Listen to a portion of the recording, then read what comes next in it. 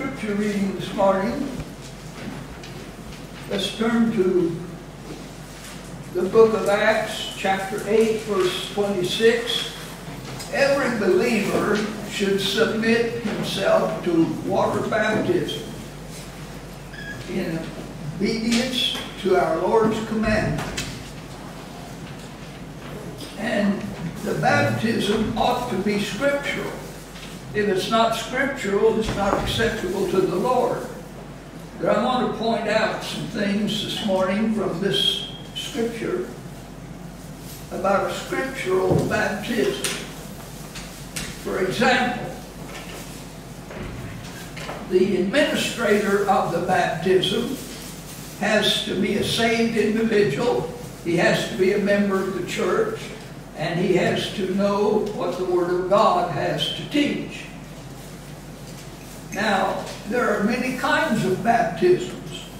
There's water baptisms and all kinds of other baptisms, but only one of them is scriptural, and we take the scriptures from the Bible, so we have a scriptural baptism.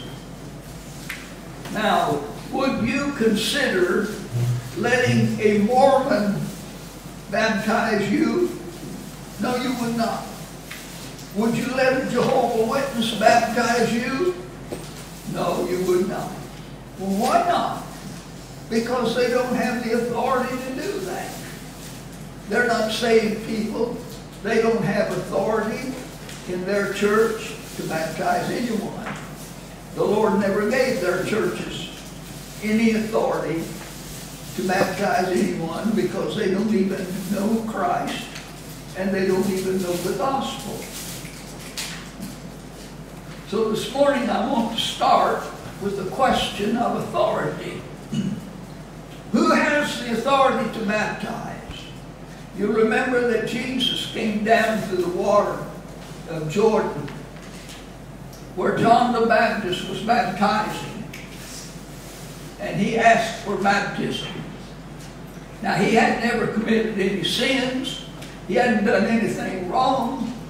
Why would he need baptism? Well, baptism doesn't take away sin anyway. But he said, it becometh us to fulfill all righteousness. And uh, I want you to baptize me. And John the Baptist said, I'm not worthy to baptize you. You're the Lord. And I, am just uh, a servant of the Lord. And the Lord told him, yes, you have to baptize me. It was very necessary. Now, Jesus has walked 65 miles to be baptized by John the Baptist. Why did he do that? There were people in Jerusalem and Nazareth that could have baptized him. He could have been baptized by a lot of different people, apostles and so on. But he didn't. He went to John the Baptist. And that's what he had to do in order for his baptism to be pleasing to the Father. That would make it a scriptural baptism, although of a little different reason for ours. And so, we read in Luke chapter 20, it came to pass on one of those days, as he taught the people in the temple and preached the gospel, the chief priests and the scribes came upon him with the elders and spake unto him. Now, John the Baptist is baptizing in the Jordan River, and the scribes and the elders, that is the Jewish religion, they came to him say, tell us, by what authority dost thou these things?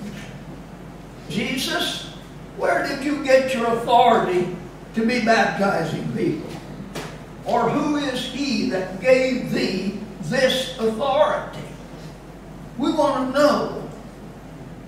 How, how do you do this? Where do you get authority for it?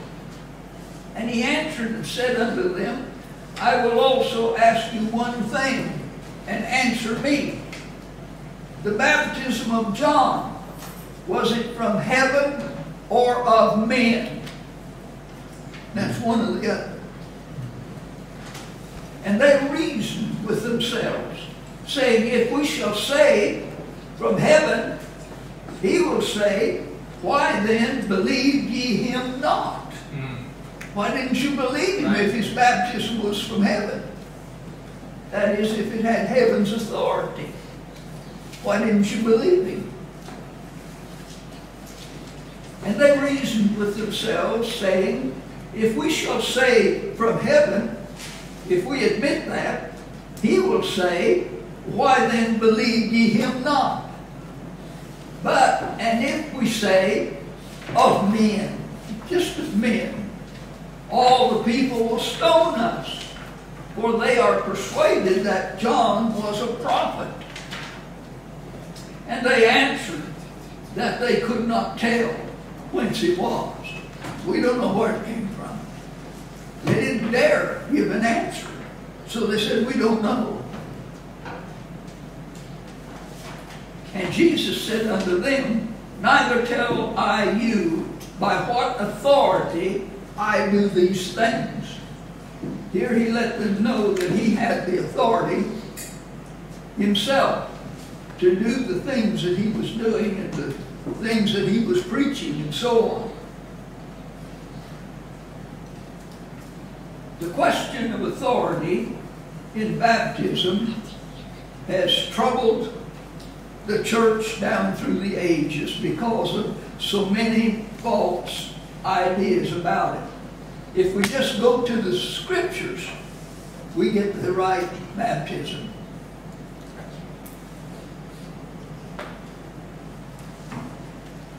For instance, in Luke chapter 7 and verse 28, we learn that the Pharisees had rejected John's baptism. For I say unto you, those that are born of women, there is not a greater prophet than John the Baptist. But he that is least in the kingdom of God is greater than he. And all the people that heard him and the publicans justified God, being baptized with the baptism of John. But the Pharisees and the lawyers rejected the counsel of God against themselves, being not baptized of him. How did they justify God? By submitting to John's baptism. The Pharisees would not do that.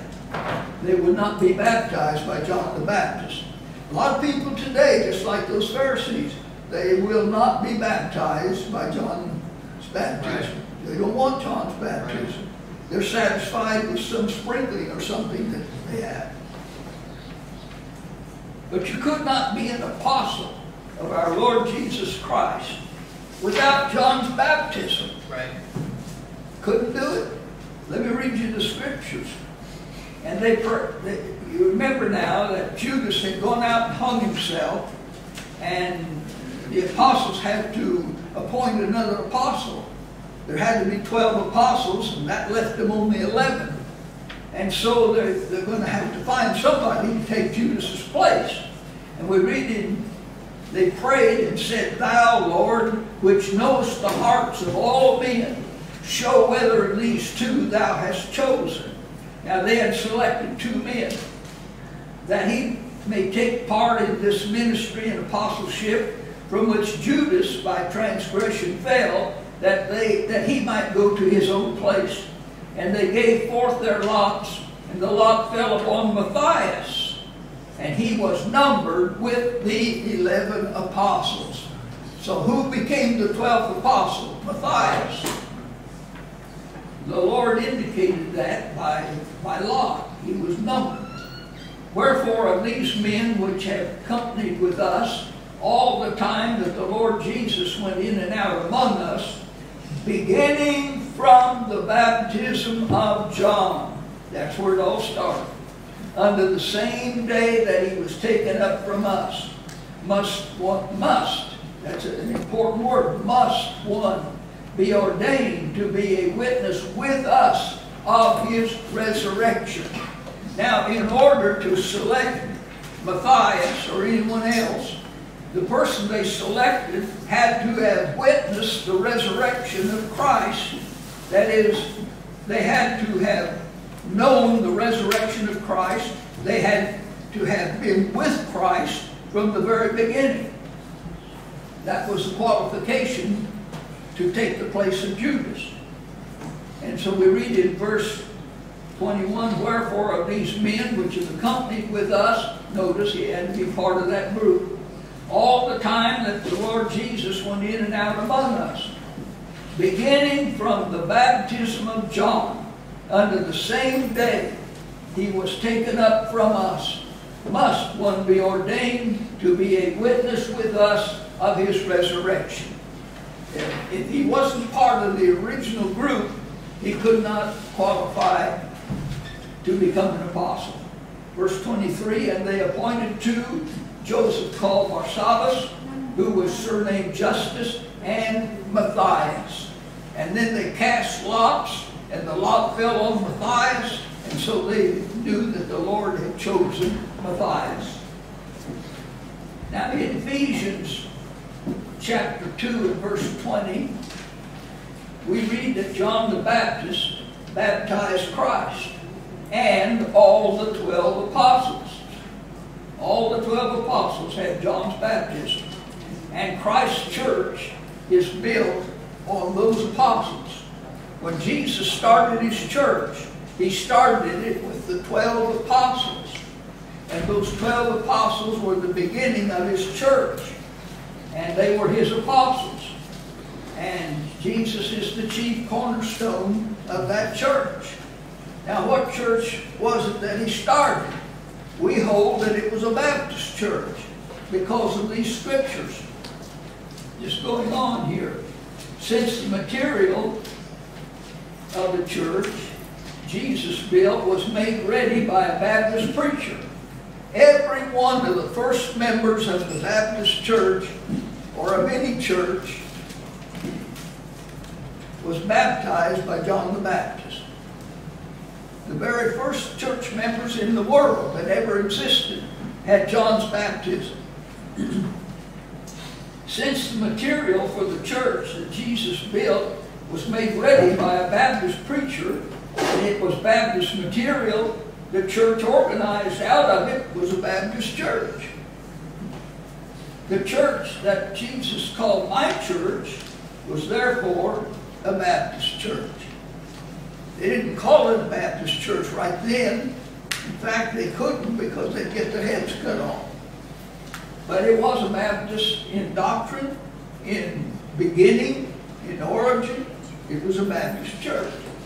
And it is the, and the Baptist churches are the only churches that can trace their origin back to John the Baptist. That no other church can do that. Presbyterians can't do it. The Methodists can't do it. Church of England can't do it. Only the Baptists have the evidence of their existence all the way back to John the Baptist. So we conclude from that that logic would tell you that the church today, still existing as a Baptist church, is the right church. You're in the right church this morning. You're sitting in the right church, according to these scriptures. Then I read that Baptist churches are correct in their doctrine, they're correct in their practices, they're correct in their origin. By the way, you may not know this, but the word Baptist, I've had people tell me, well, the word Baptist isn't in the Bible. Well, my dear friend, you've never read the Bible. Because if you open your New Testament, you'll find the word Baptist 14 times. It's right there, 14 times. It doesn't say Baptist Church 14 times, but it was a Baptist church that was spoken of in these scriptures. So, what we say and what we believe and what these scriptures tell us, that the Baptist churches are the Lord's churches, and therefore they alone were given the commission to baptize. So that's the authority of the Lord's church. And we believe that. And sometimes people come to us from other churches, Presbyterians, Methodists, and so on, and they say, Well, I like your church. I think I'd like to join. And I said, Well, that's fine. We'll arrange to baptize you next Sunday. Oh, oh no, I've already been baptized, they said. I said, Well, who baptized you? Oh, Presbyterian Church. I said, How did he baptize you? Well, he said, He sprinkled a few drops of water on my head, and he called it baptism. That's not baptism. Baptism is by immersion. Right. It's a burial. It symbolizes your death to sin and alive in Christ. That's immersion. In fact, the, the word means to dip in the Greek, or to plunge, or to submerge. It has four or five meanings, and every one of them is a, a meaning that is complete immersion. The word sprinkling is only found two times in the Bible, and in both times it refers to the sprinkling of the blood of the cross. Mm. Has nothing to do whatsoever with water. So we baptize in water according to the authority that the Lord has given this church. I have no authority to baptize anyone, but I have authority from this church to baptize in the name of the Lord because I'm the pastor of this church. So I'm authorized to baptize. And only an ordained minister of the Lord's church actually should do the baptizing. Now we want to move over a little bit. I want to give you a couple of things that's evident in history books. Not only did Jesus walk 60 miles to be baptized by John the Baptist, because that was God's plan, that was God's order, and he did everything in order. Walked 60 miles to John the Baptist, and John the Baptist baptized the Lord Jesus Christ. That ought to make it a pretty good baptism, wouldn't you say, if, if the Lord submitted to it, and he did. Few examples. When there were no Baptist churches in Germany, Mr. John G. Compton became a Baptist by reading the New Testament. And he started on a trip to England to find a Baptist preacher to baptize him. He knew that it had to be a Baptist baptism, and he wanted Baptist baptism, and he headed out on his way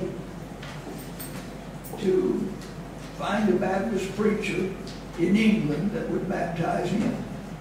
Then Mr. Yohanan, the Persian, converted under a Presbyterian missionary, read the New Testament, and came from Persia to New York to get Baptist baptism. He wanted Baptist baptism. In the island of Cuba, Mr. Diaz became a Baptist from reading the New Testament. That is why in the state of Brazil, men converted under a Presbyterian missionary and made Baptists by reading the New Testament, sent for a Baptist preacher in Pernambuco to come up and baptize them. Now, the Bible says that Jesus came to be baptized by John, Matthew 3.13, and that's why Baptists go to the water instead of bringing water to the candidate. Mm. The Bible says Jesus was baptized in Jordan, 1 Mark 1 9. That's why Baptists baptize in water instead of putting water on the candidate. Baptists reject all other baptisms except Baptist baptism because there is no other kind in the Bible. You can study the Bible from Genesis to Revelation, and you won't find any other kind of baptism except the one that we're talking about here this morning. Jesus and the 12 apostles all had Baptist baptism. They had to have it to be apostles. To reject Baptist baptism is to follow the Pharisees instead of Jesus. And Luke 7.30 says they rejected the counsel of God against themselves, not being baptized of John. Right there you have it in Luke 7.30. They rejected the counsel of God. How? By not being baptized of John. Hmm. If you reject the baptism of John, you reject the counsel of God. That's what the scripture says. You can look it up. It's the seventh chapter of Luke and verse 30. All those who reject Baptist baptism are following the example of the Pharisees instead of following the example of the persons and the scriptures. And then we read again when they got ready to replace Judas, it says in Acts chapter 1 and verse 21, Wherefore of these men which have company with us all the time that Jesus went in and out among us. Notice, they had to choose a man who had accompanied the other apostles all the time as they traveled with Jesus. Then verse 22 says, beginning from the baptism of John, under the same day that he was taken up from us, must one be ordained to be a witness with us of his resurrection. They could not replace Judas unless they had somebody who had been with them from the beginning of the baptism of John. Now those are things that are in the Bible. I didn't make those things up. I'm reading them to you from the Bible. The second thing is immersion is the only correct baptism. And it has to be, as far as Baptists are concerned, uh, a baptism by a Baptist church. The authority for the Scripture is Scripture itself. Who are baptized? Only those who profess faith in the Lord Jesus Christ. If you profess faith in the Lord Jesus Christ, we will baptize you. That's the only requirement. Faith in the Lord Jesus Christ. Then we will baptize you. But now I want to look at some things. How this individual was saved. In verse 28, if you want to follow in the scriptures, I'm just going to use the scriptures, that's all. Verse 28, he learned, he had been to Jerusalem to worship, but he had learned nothing. That's what happens a lot of times. People go to a church to learn about God, and they don't learn anything. They're not taught anything. He learned nothing at Jerusalem. We read in verse 28, was Acts 2, uh, Acts 8 and verse 28, was returning and sitting in his chariot, read Isaiah, that's who this is, the prophet. Now he's getting to the place where he's going to get some information. He was reading the Bible. He was reading the prophecies of Isaiah chapter 53. Then secondly, in verse 29, the Holy Spirit was leading Philip to this man. Verse 29, then the Spirit said unto Philip, Philip was a church member, Go near and join thyself to this chariot. The Holy Spirit is the one who comes to the lost sinner with the information of the gospel. Thirdly, in verse 30, the Word of God was used. How do you get a good, genuine convert to baptize? First, you have to give that person the Word of God. Verse 30. And Philip ran to him and heard him read the prophet Isaiah and said, Understandest thou what thou readest? Do you know what the Bible teaches? Do you understand what it says? Is it plain to you that it's by the cross that we're saved? Philip heard him reading the Word of God from Isaiah the prophet. And if you want to be saved, one of the greatest passages is found in Isaiah chapter 53. Then in verse 31, he had a desire to know. He was a follower of Judaism. He had gone to Jerusalem that particular Sabbath to worship. But he didn't know anything, and he thought he could get some information if he would go to Jerusalem. So he came to Jerusalem. He didn't learn anything, but he got a Bible. And that's all he needed. In verse 30, he had the Word of God employed to him. In verse 31, he had a desire to know. The Lord does not save people if they don't want to be saved. Hmm. If you want to go to hell, he'll let you go. Right. If you refuse to trust him, he will let you go. Right.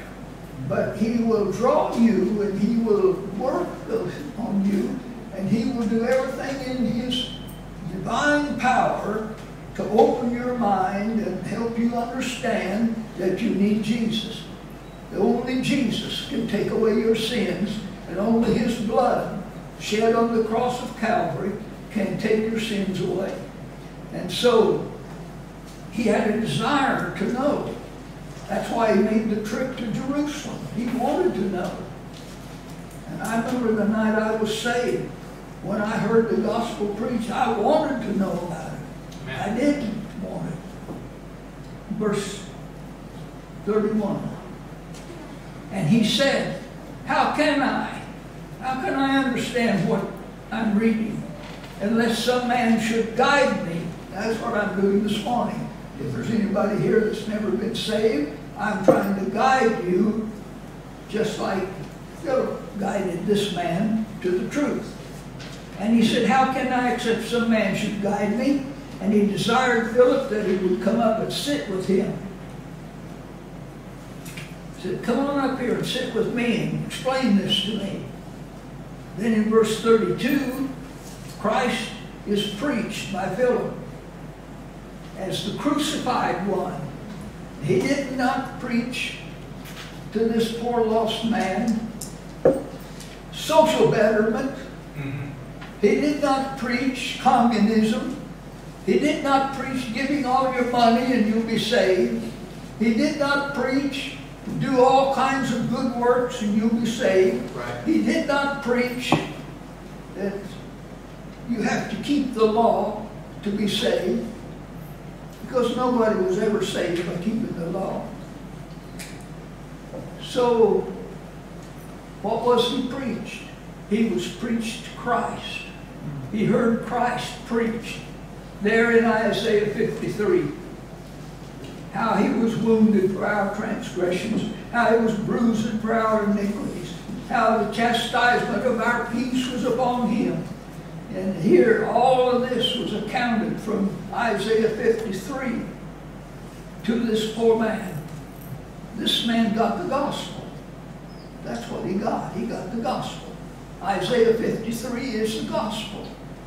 The Jews today don't believe it, but they will someday when they're converted. Isaiah is the gospel. He was led, and here's what he read. He was led as a sheep to the slaughter. That's the cross. Like a lamb, dumb before his shearer, so open he not his mouth. In other words, Jesus never protested. He never argued against it. He never tried to fight back. He submitted himself to the cross.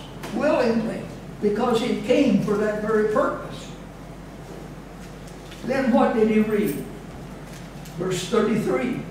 In his humiliation, his judgment was taken away, and who shall declare his generation? For his life is taken from the earth. He laid down his life on the cross of Calvary. Then who is this man? By this time, he's very curious. He's been given the gospel, he's been given lots of things that he didn't know. And verse 34, he wants an identity. I want to know who this man is. You've been telling me all about this man, how he was wounded for our transgression. You've been telling me about this man, how he died. I want to know who this man is.